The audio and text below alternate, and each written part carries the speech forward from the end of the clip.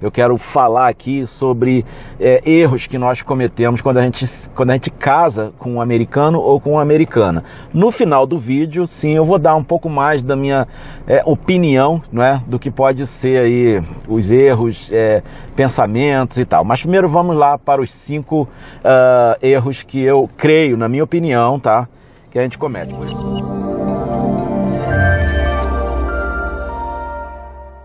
Exemplo, número um Número um é, as americanas, elas não cozinham, tá? É, mais ou menos eu já sabia que a minha americana não cozinhava. Mas, cara, entre você saber que a pessoa que você vai casar não cozinha, e o dia a dia, né? A gente já está casado há 12 anos, e ela não cozinha mesmo, o que não é um problema, tá, gente? Eu não largaria minha esposa porque ela não cozinha. É, a gente tem que entender isso, tá? Isso é a cultura delas. Então, se você vai se casar com uma americana, agora americano eu não sei, porque aí eu não posso falar, né, nessa parte americana, mas eu vou dizer sobre a minha parte aqui. Ela gosta de restaurantes, tá? Agora a cozinha, pilotar fogão, é, não é com ela e eu não estou aqui, tá? É, falando assim negativamente da minha esposa, tá? É um fato assim que a gente conversou antes, né? Antes da gente casar, a gente conversou, procuramos entender né, conhecer um outro e tal, isso é um fato que existiu, né, existe e a gente aprende a conviver com ele. Né? Nesse, nesse meio inteirinho aí, se eu posso dizer desse jeito, é, eu aprendi a cozinhar. então eu cozinho. Mas às vezes ela dá umas cacetadas lá na cozinha. Mas a maior parte das vezes sou eu.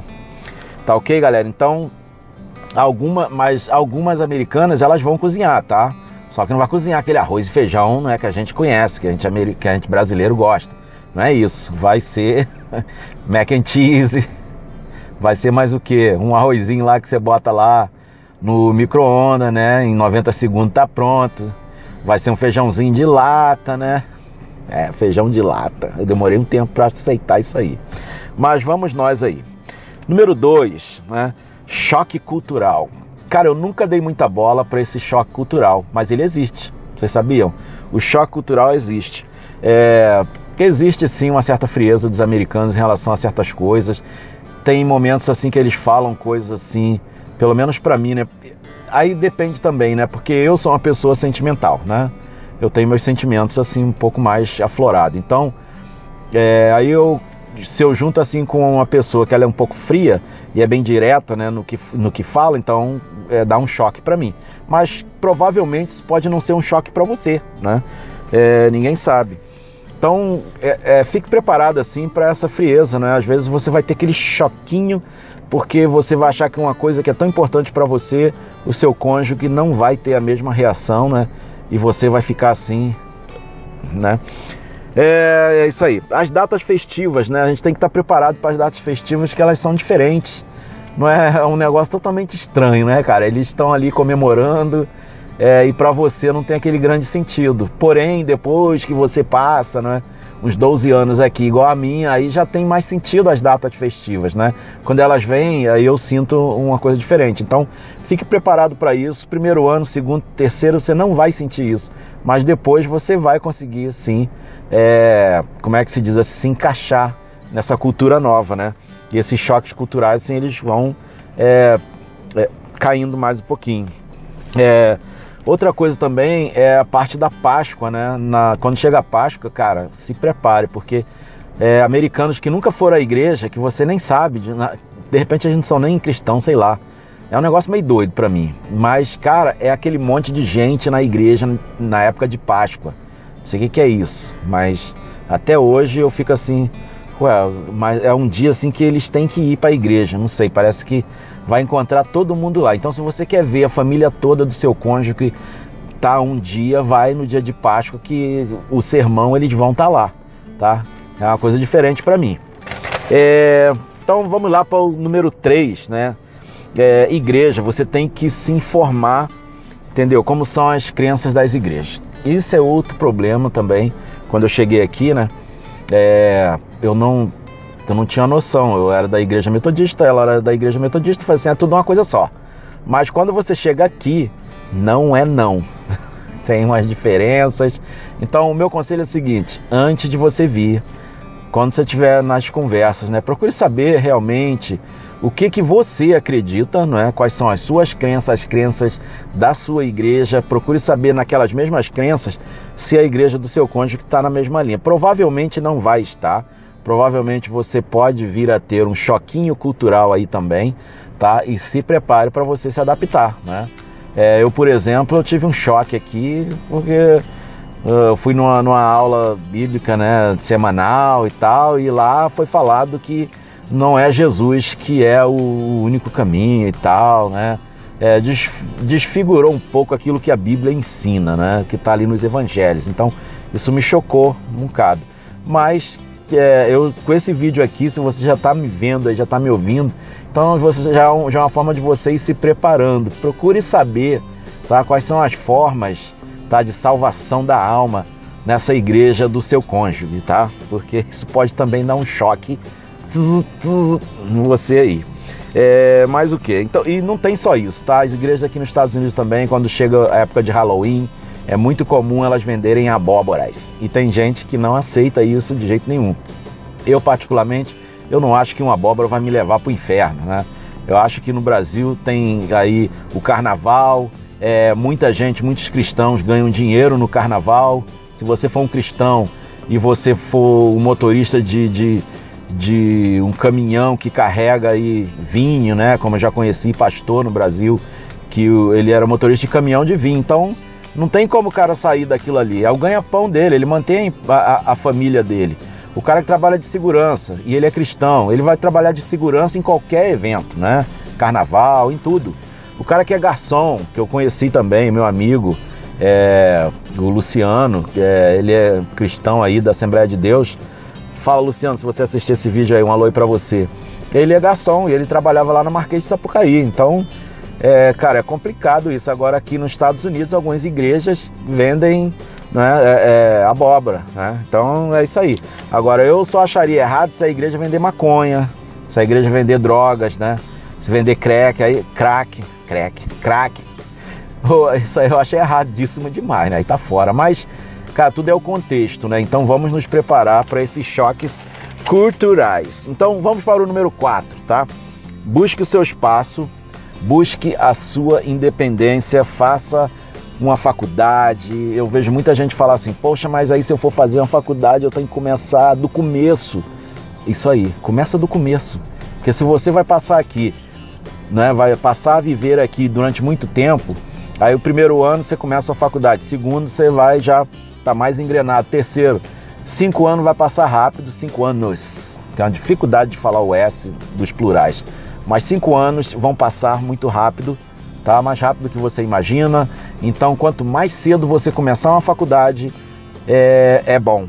É bom. Ou então, comece uma profissão bem cedo. Se agarre em alguma coisa, porque quanto mais cedo você começar, mais cedo vai ser a sua independência. Hoje você pode começar ganhando 10 dólares, pode começar não ganhando muito bem, mas com o passar dos tempos, com o aumento da experiência, é isso que os americanos gostam e procuram. Eles querem saber quanto você tem de experiência.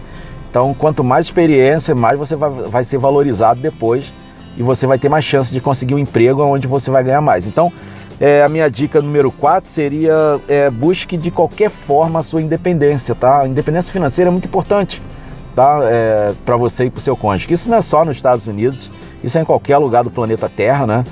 Tanto no Brasil, aqui.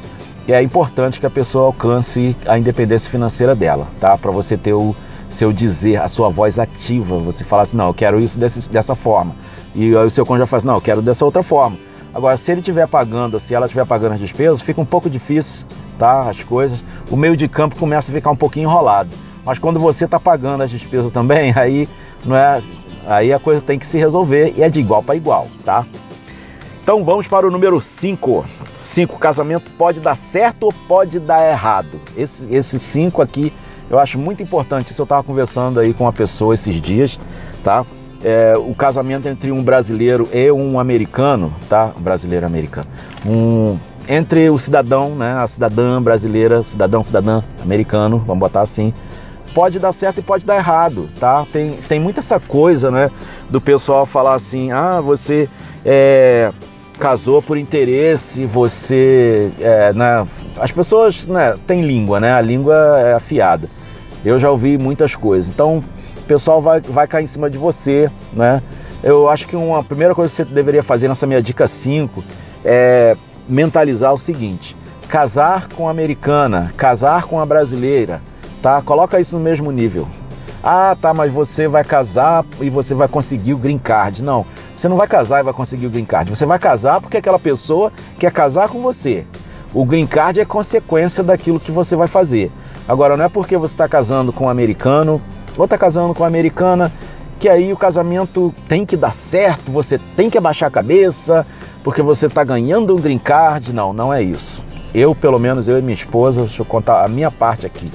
Né? Antes da gente casar, foi uma coisa que a gente conversou, né? Eu abri o jogo com ela, já falei aqui no canal várias vezes, né? De vez em quando eu falo de tudo. É... Uma das coisas que eu falei para ela, eu falei assim, olha, eu tenho, eu sempre tive um grande sonho de ir para os Estados Unidos, né? E hoje em dia muita gente, a gente ouve muitas histórias de pessoas casando pelo green card. Lógico, eu gostaria de ter um green card, sim, amaria ter um green card, mas eu quero assim um tempo para eu orar eu quero pedir a Deus, eu quero estar em paz comigo mesmo, ter certeza que eu estou casando com você, porque realmente eu quero uma pessoa do meu lado e essa pessoa é você.